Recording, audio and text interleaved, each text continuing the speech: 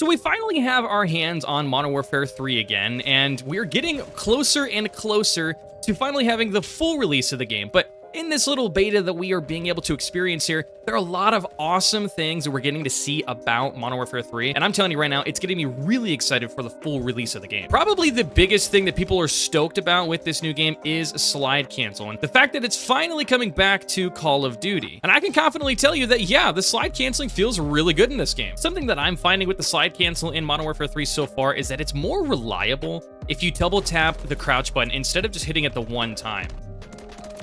You can still manage to do slide cancel no matter what, but it just, I find for myself, it's more reliable if I double tap the B button or the crouch button before actually hitting my jump again. Another thing that I actually like so far a lot about Modern Warfare 3 is actually the audio feedback that you get from firing your weapon and hitting shots. I'm sure that this is very much dependent on the weapon that you're actually using, but firing the MCW or the ACR in this game sounds really good. It's extremely punchy. It sounds thick, it just hits really hard, and it actually makes firing the gun that much more enjoyable. And couple that with the fact that there's a new hit marker sound that plays when you hit your shots, Oof, it's so good, man. It, it sounds almost artificial and cartoony. It's kind of weird, but I love it. Oh man, just listen to that sound. Oh, it's beautiful. Now, something that is extremely apparent when you play Modern Warfare 3 is that the time to kill has been slowed significantly down, honestly. You know, in Modern Warfare 2, as long as you hit a headshot, you're gonna get your kill in like a fraction of a second. But here in Modern Warfare 3, it takes a lot longer, and you definitely need to hit your shots. And I'll tell you, I, am actually here for it. It feels really good, and it's more satisfying when you do hit your shots as well. And I'll tell you what, in this game, I'm absolutely here for the change, because it makes it more satisfying when you do get your kills. And you know, the other thing too, having a longer TTK actually allows for more possibilities of getting outplays. You know, another thing I'll tell you what that's even better in terms of firing your weapon, it's there's so much less visual recoil now. There's no smoke that's just blasting through your face and making it impossible to see where you're shooting. Oh man, it is a breath of fresh air. I'm really a huge fan of the way that they have toned down the visual recoil in this game. There's honestly just so many things about this beta so far that I'm really, really enjoying. It's It plays well, man. It's, it's a breath of fresh air from playing Modern Warfare 2 this year.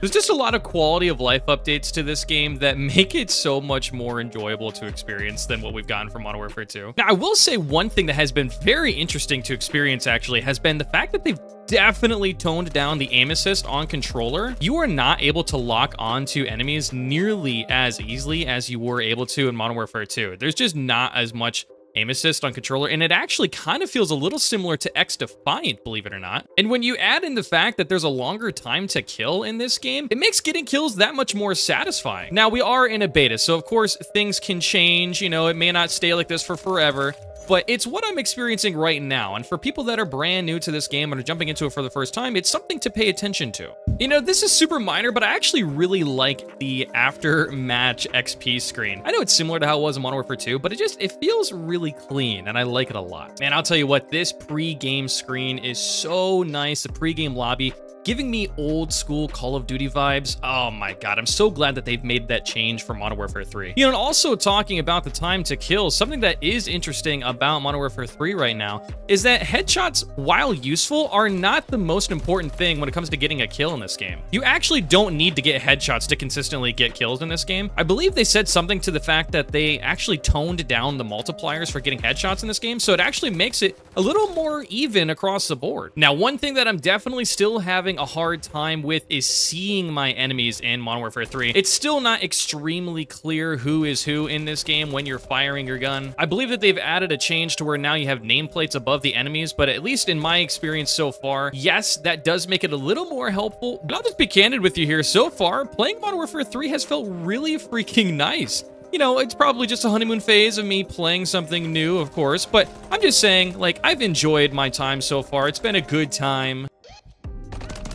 And honestly, I just can't wait to play more of this. The full release of this game looks like it's going to be pretty good. And and in my last video, I talked about how up to this point, everything has pointed towards the gameplay from Modern Warfare 3 being really good. But the biggest thing that's going to be problematic is going to be the skill-based matchmaking. And I still think that after playing this, that's definitely going to be the case. I think the biggest problem this game is going to have is its SBMM. And what that does to its players. But I mean, so far, dude, the maps have been really enjoyable. Uh, this is actually my very first time ever playing all of these maps before. I've Never played the original Modern Warfare 2, and all these maps too are brand new to me. So for me, unlike a lot of other people, this is a honestly brand new experience. Like, this is a brand new game to me, and I like it quite a lot so far. It's a good time. Man, I'll tell you what, slide cancel in this game is definitely contributing to faster overall gunplay. This is crazy, man. Not playing a Call of Duty with slide cancel and then now playing it with slide cancel, it's a huge difference. It's not even close. All in all, when you guys hop into Modern Warfare 3, whether it's in the beta or in the final game. You guys definitely have a really good time ahead of you. So far, my experience has been fantastic. I'm excited to see how this moves forward. Will I continue to enjoy it? We'll find out. But I hope you guys hop in during the beta, and if you don't, definitely make sure to check it out on full release because so far it's been fantastic. Make sure to check out this other video on screen now if you want to see more content from me, and also subscribe for more Call of Duty and XDefiant content.